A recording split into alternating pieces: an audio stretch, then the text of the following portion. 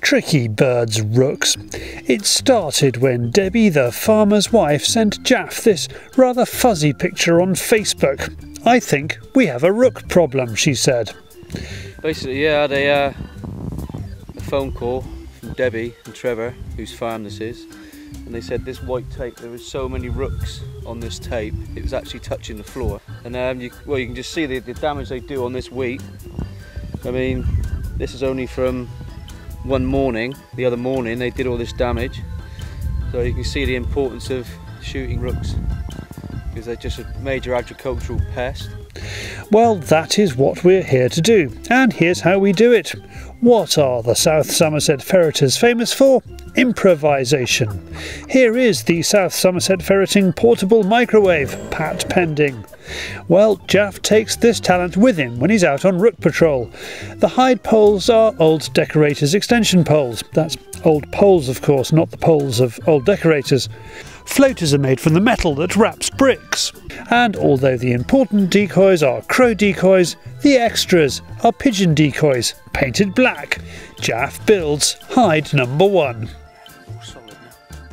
There is not a lot of action, but he gets a few.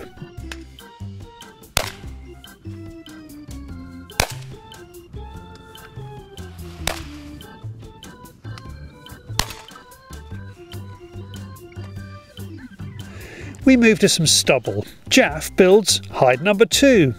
There are lots of birds, but they carefully stay two fields away. The only bird to go over is a whirlybird. Jaf has had some good days here, probably two recently. He's had nearly a hundred pigeons off here in the last two days. Well, it shows that the rooks learn fast. And if you want rooks off your ground, educating them often has to be as good as shooting them. By the end of the morning, we have shot a dozen between us and a few pigeons. What happens to the birds? The rooks get rendered in the farm furnace. But Jaf has a special new device for the pigeons.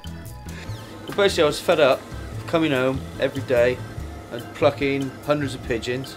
Well, I like to say hundreds, but you know. Yeah, I went on YouTube, saw this contraption, um, realised that it's quite expensive to buy as a unit, so I thought I'd have a go at making my own. So I bought this instruction manual off of uh, eBay, followed the instructions step by step.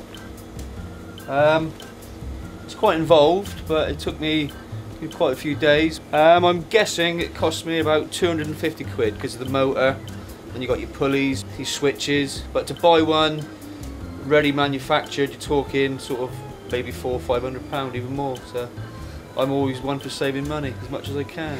The South Somerset Ferreters is always a fun family day out, whatever they're doing.